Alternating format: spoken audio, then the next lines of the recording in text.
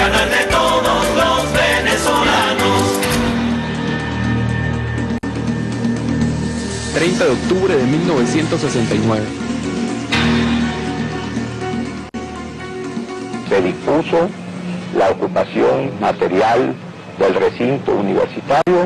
A esto llamaban en la cuarta respeto a la autonomía.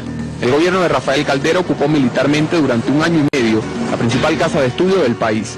El hecho se produjo tras el rechazo del movimiento Renovación a la reforma aprobada por el Congreso de la Ley de Educación que permitía al gobierno controlar el funcionamiento de las universidades. En esos dos años ellos limpiaron, ellos hicieron que todos los avances de la renovación retrocedieran y además impusieron su nueva ley, su reforma. destruidos los laboratorios, perdidas muchas investigaciones, saqueadas las universidades porque hubo robo de los elementos valiosos que había en la universidad. Los argumentos alegados por el gobierno para la intervención revelan el carácter autoritario de la medida. Esto se dijo de las legítimas autoridades de la UCB. Sus atribuciones no se encuentran previstas en las, en las leyes de la República, tomando decisiones y tomando posiciones sin tener atribuciones para ello. El movimiento Renovación estaba liderado por el rector Jesús María Bianco. Lo integraban estudiantes, obreros, profesores y las autoridades legítimas de la UCB. Ellos proponían un modelo de universidad contrario a los intereses del puntofijismo. Se planteaba que nuestra universidad, la universidad venezolana, estaba atrasada con respecto a los requerimientos del desarrollo de la sociedad y que era necesario vincular el estudio universitario a la realidad socioeconómica del país y poner la universidad al servicio de la transformación del país. Las intensas manifestaciones populares que se extendieron en todo el país obligaron al gobierno a desistir de la ocupación. Lamentablemente el daño ya estaba hecho. Se impusieron mecanismos de funcionamiento que hicieron de la UCB un espacio excluyente de los sectores pobres y con poco ejercicio de la democracia interna. Continuamos con este segmento de la entrevista en su programa Toda Venezuela. Allí veíamos un trabajo realizado por nuestro equipo de producción respecto, aparte de la historia que ha vivido la Universidad Central de Venezuela, las universidades de nuestro país en general. Citábamos allí un episodio de eh, los gobiernos de la Cuarta República, hablábamos de la ocupación militar realizada a principios de los años 70. Para conversar acerca no solamente de este tema, lo usamos como preámbulo porque creemos que es bueno poner en contexto histórico todas las situaciones. Lo vamos a llevar, por supuesto, a lo que está sucediendo actualmente con las universidades venezolanas. Para hablar acerca de ello, tenemos como invitados a dos estudiantes de esta casa de estudios, una de las principales del país, Cristel Velázquez, estudiante de la Escuela de Historia de la Universidad Central de Venezuela, nos acompaña y a su lado está el presidente de la Federación de Centros Universitarios de la UCB, Juan Requesén. Muchísimas gracias a ambos por acompañarnos. Cristel, buenos días. Buenos días, bueno, saludar a todo el pueblo venezolano que nos ve, agradecer la invitación para seguir alimentando este debate que está más vivo que nunca. Eh, y que bueno, nosotros venimos por supuesto impulsando, no desde este momento, sino que eh, tenemos ya una serie de tiempo planteando el debate sobre la necesidad de la transformación universitaria. ¿no? Nosotros aprovechamos acá para plantear eh, cosas fundamentales, como primero, eh, la crisis que en este momento sectores de la derecha venezolana plantean como eh, bueno, crisis universitaria y, e inicialmente plantearon como que era solo un conflicto reivindicativo salarial. Nosotros, bueno, evidentemente con toda la agenda que se ha hecho evidente, podemos ver, el pueblo venezolano ha sido testigo que más allá de las supuestas reivindicaciones que, que se estaban defendiendo, esta agenda tiene intereses y tintes político-partidistas. Además, con la medida de paro que se ha venido asumiendo desde la FAPUB, desde la Asociación de Profesores de la UCB, particularmente en el caso de nuestra universidad, vienen atentando contra nuestro derecho constitucional, nuestro derecho fundamental, que es el derecho a la educación. Eh, y bueno, toda la gente, por ejemplo, de acá de Caracas, de otras ciudades, ha sido testigo cómo no solo nos violentan el derecho a la educación, sino que además cómo violentan el derecho a la libre circulación en las principales arterias viales del país. Eso por un lado. Y lo segundo, por supuesto, saludar, eh, saludar, reconocer a todos aquellos sectores que participaron en las mesas de debate, en las mesas de negociación para la discusión y la aprobación de la del contrato colectivo único para los trabajadores y las trabajadoras del sector universitario. Creo que eso es una gran victoria que en este momento estamos celebrando por todas las reivindicaciones sociales y salariales que allí se lograron con todos los sectores que se sumaron a ese debate democrático. Seguramente Juan tiene una visión distinta a esta. Gracias por estar eh, aquí con nosotros, Juan. Bueno, Bienvenido. primero muchísimas gracias a ti por la invitación, a todos los camaradas aquí presentes, al pueblo venezolano y a, y a mi compañera también de estudio de la Universidad Central de Venezuela.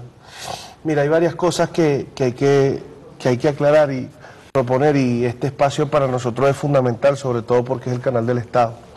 Eh, nosotros, desde que empezó este conflicto universitario, ha tenido varias matices. Primero, un paro profesoral eh, convocado por la FAPU, que ciertamente todos los sectores estudiantiles eh, no podemos estar de acuerdo con un paro porque afecta el derecho al estudio que tenemos nosotros. Sin embargo, eh, es la forma en la que los profesores conciben la protesta y como a nosotros nadie nos dice cómo la vamos a protestar, los profesores están ejerciendo un derecho que ellos tienen legítimo a la protesta, pero que nosotros seguiremos presionando para poder recibir nosotros una educación y tener esa universidad puertas abiertas como siempre hemos querido tenerla y como es la visión del estudiante que debe ser la universidad, sobre todo la Universidad Central de Venezuela, que es estar abierta de cara al pueblo y de cara al compromiso que tiene con el desarrollo patrio. Este gobierno en los últimos y desde que yo asumí esta federación de centros de hace dos años en la Universidad Central de Venezuela, tiene un compromiso con estas casas de estudio y con la representación estudiantil. Nosotros en este conflicto no hemos exigido sino un pliego petitorio donde están las principales deficiencias que tiene el sector estudiantil en cuanto a la dignificación de su calidad de vida dentro de las casas de estudio. En este caso nosotros hemos llevado este pliego a todos los espacios y todas las instituciones públicas del Estado donde hemos podido hacerlo llegar. El Ministerio de Educación Superior, la Oficina de Planificación del Sector Universitario. Ayer logramos introducirlo en la Comisión de Desarrollo Social de la Asamblea Nacional, eh, comisión presidida por el diputado Osvaldo Vera, donde además hubo por fin el día de ayer, y hay que decirlo responsablemente al país, no solo un reconocimiento del conflicto, ¿no? sino una un- unanimidad por parte de los diputados que hacen bien esa comisión, donde reconocieron que las peticiones que nosotros estábamos llevando no solo eran, no, no solo las reconocían, sino que también eran justas. Son reivindicaciones que merecemos los estudiantes para dignificar nuestra calidad de vida. En este caso, el aumento del presupuesto de providencias estudiantiles, el aumento de la beca estudiantil, la convocatoria de elecciones que están suspendidas en varias universidades, la representación estudiantil ante FAMES y el CNU, la dotación de unidades de transporte, las mejoras de los comedores universitarios para los presupuestos. Por lo tanto, estas son luchas que sí, de hecho son estrictamente reivindicativas. Han querido desde el gobierno tratar de polarizar o partidizar el conflicto universitario a propósito de una marcha que hubo el sábado donde hacían acto de presencia algunos políticos. Mira, qué bueno sería Qué bueno sería que también los dirigentes y los políticos del Partido Socialista Unido de Venezuela se unieran a este debate y se unieran a esta lucha. El conflicto que nosotros estamos llevando adelante es por la Universidad Autónoma, por la Universidad Plural, por la Universidad Democrática y por la Universidad de Paz. Hay una gran deuda que tiene en este caso lo reconocían ayer los diputados, hay una gran deuda que tiene la Asamblea Nacional, pero que tenemos todos nosotros, que es la discusión real y efectiva y sincera de una nueva ley de universidades. De una ley de universidades donde se genere un gran debate nacional con todos los sectores incluidos dentro de ella para poder debatir por la transformación universitaria, porque ese debe ser el objetivo final de toda la representación estudiantil. Hay debates sobre distintos aspectos y tú planteas uno, que es el tema reivindicativo, que es el tema económico. Y a la mayoría de los venezolanos que, o mejor dicho, a la totalidad de los venezolanos que nos incumbe este tema, no solamente a los universitarios, porque fundamentalmente estas universidades se financian con recursos de todos. eh, bueno, a veces el, el manejo de las cifras se nos hace un poco dificultoso, porque uno- hay autoridades universitarias que dicen, no, que el presupuesto no es suficiente. Desde el gobierno nacional se dice, bueno, pero eh, con la mitad de los presupuestos que, por ejemplo, se le da a la UCB, se financia el funcionamiento de la Universidad Bolivariana, de, de la UNEF. Entonces, tal vez para la mayoría no, nos- no tengamos claro realmente si los recursos alcanzan, no alcanzan. Y en, eh, en ese entendido debería, asume uno, haber una transparencia en el manejo de esos recursos. Desde tu punto de vista, Cristel, ¿ha habido esa transparencia? ¿Hay en las autoridades universitarias, en el caso de las universidades que están en situación de, de protesta en este momento, transparencia en el manejo de los recursos que administran? Así es, bueno, mira, muy buena tu pregunta, porque además, a propósito que lo, lo que plantea el compañero acá, nosotros nos llama la atención porque rei- reiteradamente est- estas, estas supuestas exigencias reivindicativas solo se plantean en determinadas coyunturas políticas que se generan en el país, porque la verdad es que dentro de la lucha cotidiana del movimiento estudiantil por las reivindicaciones dentro de la UCB, bueno, brilla por su ausencia la presencia de la Federación de Centros Universitarios. Brilla por su ausencia una postura clara de exigencia de, este, de cuentas claras a las autoridades universitarias, la rendición de cuentas, la Contraloría. Nosotros, por ejemplo, durante el año pasado estuvimos eh, haciendo parte de la Junta Interventora del Comedor Universitario que fue electa además eh, y legitimada en una sesión del Consejo Universitario en acta firmada por eh, Amalio Belmonte. Eh, la postura de los compañeros de la Federación y de distintos sectores em, de la Universidad Central de Venezuela, de representantes estudiantiles, fue de rechazar de negar la lucha que allí se venía dando. Allí se, em, se aprobó, solo para poner una cifra, eh, más de 1.200 millones de bolívares el año pasado y sobre eso, por ejemplo, no se ha rendido cuentas. Nosotros durante el año pasado tuvimos un comedor parado por falta de condiciones laborales y de infraestructura para poder funcionar. Nosotros el año pasado estuvimos durante gran parte de tiempo, bueno, almorzando galletas de soda con atún, ¿sí? Por, poner ejemplos de la alimentación que allí se garantiza y eso no se corresponde ni se justifica con el presupuesto que se asigna eh, a la universidad para la atención de ese servicio. Lo segundo es, bueno, que allí, eh, allí hay especies de cajas negras eh, a través de las fundaciones, Fundación UCB, Fundación Andrés Bello, que alquilan y cada vez más privatizan en los espacios públicos de la universidad como estadios, como el aula magna. Eh, solo por concepto, nosotros eh, eh, en cifras, además que se manejan en el Consejo Universitario, en el año 2011, solo por concepto de alquiler de los estados universitarios, entraron más de 10 millones de bolívares fuertes a la universidad, de lo cual no se rinde cuenta.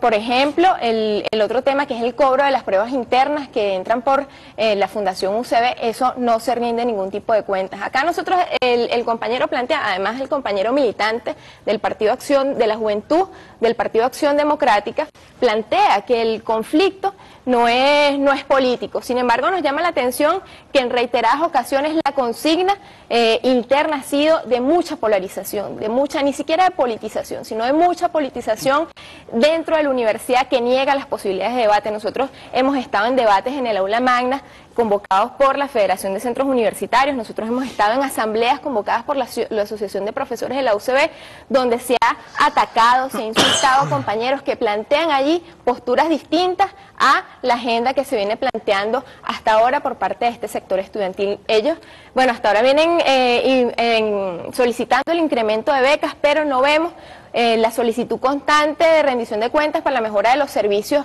estudiantiles dentro de la universidad como el comedor, que se supone que son servicios que pueden rendir la beca y el uso pues de lo que se recibe. ¿Están ustedes al tanto de cómo se manejan los recursos de la universidad, lo que, lo que le ingresa por concepto de, asignación del Estado, lo que ingresa por concepto de alquileres, este tipo de, mecanismos que menciona Cristel, y si se están administrando de forma correcta? Mira, eh, Cristel, y a todo el pueblo venezolano.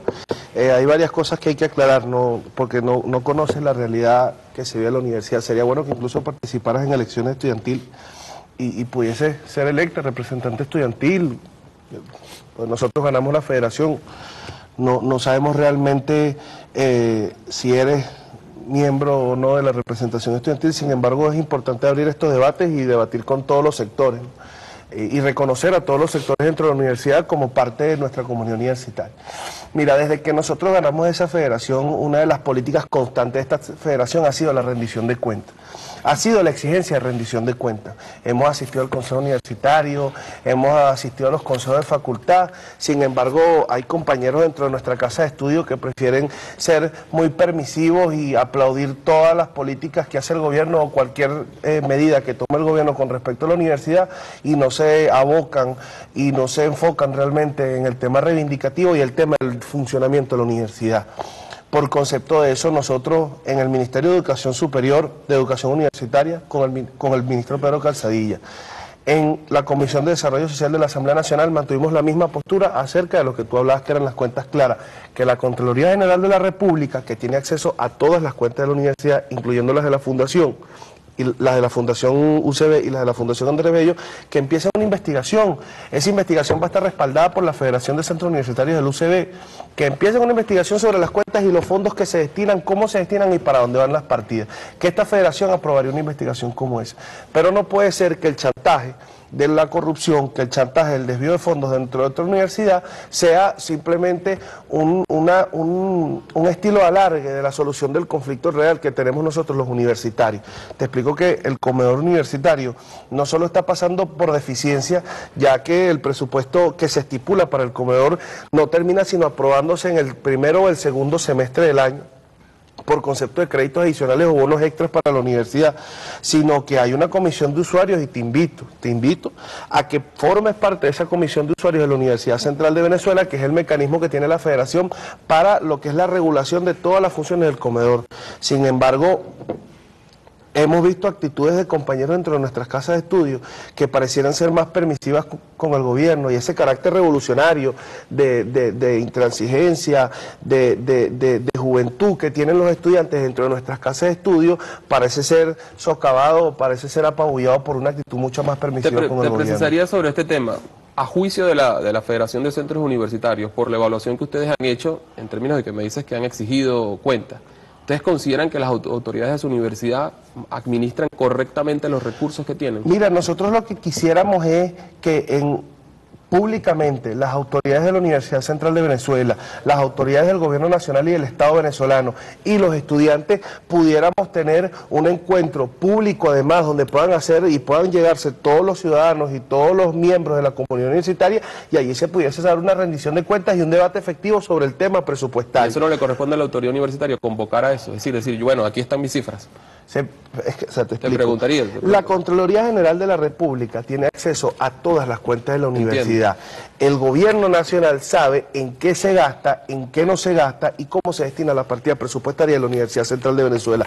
Si el gobierno que en varias ocasiones ha acusado de corruptas a las autoridades universitarias, sería buenísimo que ellos que tienen acceso a esas cuentas pudieran publicarlas. Mira, nosotros como estudiantes universitarios, nuestra búsqueda es la reivindicación, la transformación de la universidad y por último la excelencia académica. Las universidades nosotros tenemos que garantizar que sean no solo vanguardia de los procesos de transformación políticos, sociales y económicos del país, sino tener unas casas de estudio que formen ciudadanos integrales que contribuyan con el desarrollo patrio.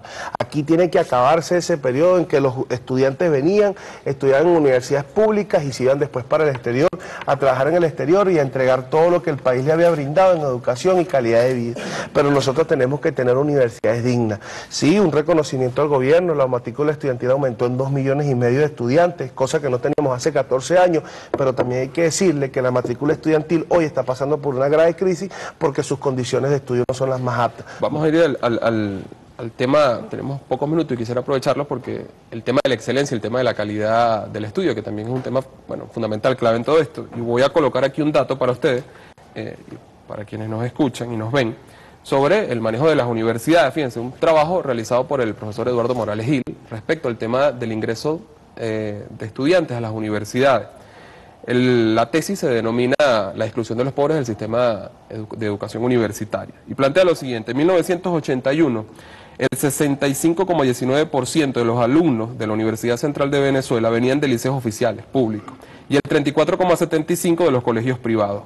20 años después, en el año 2000, esa proporción cambió radicalmente, 22% de los liceos públicos y 71% de los liceos privados.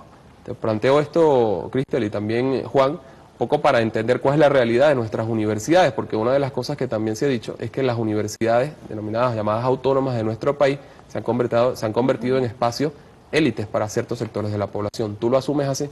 Por supuesto que sí, además, por, primero, este, porque el filtro que todavía se aplica en, a través de las pruebas que antes se les llamaba prueba de admisión, pruebas internas, eh, bueno, la- la mitad de esas pruebas internas son un test socioeconómico que sirven y fungen como un test, como un filtro, mejor dicho, económico para el ingreso a estas universidades. Esto no es un secreto para nadie, incluyendo además el tema de que en las- pruebas, solo por el derecho a optar para poder entrar a las universidades autónomas se tiene que pagar. Em, lo segundo es que, bueno, este tema de la, de la calidad es muy todavía un, un tema que genera muchísimo debate internamente, porque pareciera que el planteamiento de algunos sectores de derecha dentro de la universidad, y esto es muy importante para plantearlo, para abrirlo de una vez, para que todo el pueblo venezolano se involucre en este tema, pareciera que es que hubiera estudiantes de primera y estudiantes de segunda. Así que eso se naturalizara como una, como una concepción. Yo quiero dejar aquí claro que para, eh, es absolutamente falso sea, que durante los últimos siete años a las universidades autónomas no se les haya aumentado el presupuesto. Eso es absolutamente falso. Solo en el año 2002 hubo 2.996.998 este, 998 mil bolívares de presupuesto aprobados. Luego además se, asignan créditos adicionales. Nosotros no podemos pedir más presupuesto si no sabemos en más o menos en qué se rinden cuenta y en qué se gasta. Nosotros no podemos decir que hay deficiencia presupuestaria si ni siquiera conocemos las cifras de ese presupuesto. Por el contrario, cinco de esas universidades autónomas se llevan el 51% del presupuesto universitario a nivel nacional que solo cubre además el 15% de la matrícula estudiantil a nivel universitario. El, resto del 85% de las universidades que cubren este, ese, ese, ese 85%, por, el, el resto de la matrícula estudiantil, bueno, reciben menos del 50% del presupuesto. Nosotros preguntamos, ¿eso es justo? ¿Acaso?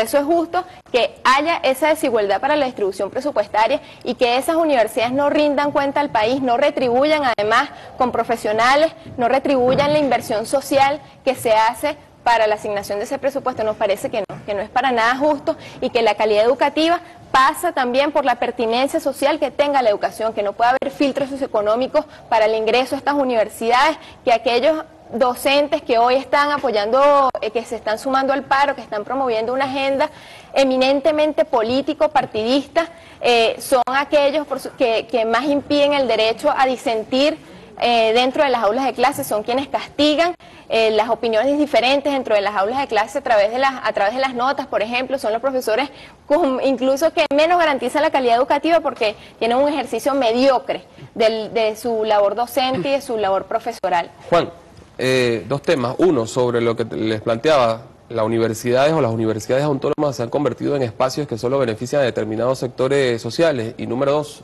los profesores, la comunidad de profesores de las universidades autónomas realmente están en sintonía con las necesidades de nuestro país. Mira, aquí hay dos visiones.